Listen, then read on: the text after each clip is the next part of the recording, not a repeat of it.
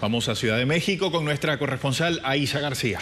Aisa, hemos visto a lo largo de esta jornada cifras confusas, cifras encontradas. Se decía que habían lamentablemente fallecido dos personas, luego que tres, que seis. En las últimas horas, ¿qué han dicho las autoridades?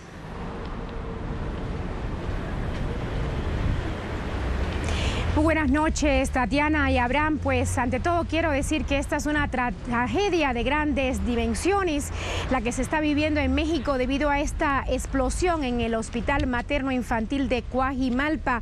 Bueno, como ustedes decían, explotó un camión cisterna de gas de la empresa Express eh, Nieto, que da servicio a los hospitales desde el año 2007.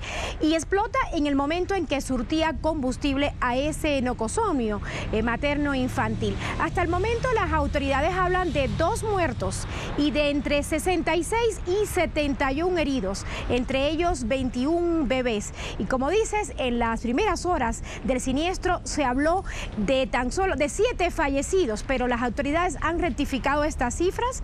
Eh, se trata con toda certeza hasta el momento de dos fallecidos, un menor y una mujer, pero un total de seis niños no han sido identificados y se encuentran en los nocosomios a los que fueron trasladados. Hay que decir que de los 66 heridos, por lo menos 22 han sido catalogados de muy graves. Por tanto, fueron trasladados a varios hospitales de la capital de México. En estos momentos, el presidente Enrique Peña Nieto y su esposa Angélica Rivera, así como el jefe de gobierno de esta capital, Miguel Ángel Mancera, recorren el hospital ABC, donde se encuentra gran parte de, los, eh, de las personas lesionadas. Y quiero decirles que pudo haber más lesionados en este terrible siniestro, en este hospital materno infantil, debido y, se evitó que fueran más los lesionados al porque eh, ocurrió una evacuación antes de que explotara esta pipa de gas.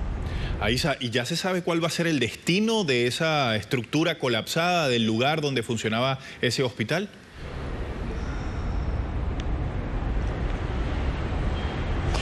Abraham, el hospital colapsó en un 70%, está bastante venido a menos. Por supuesto, ahí no va a poder funcionar eh, por el momento más nada, el hospital vino a menos.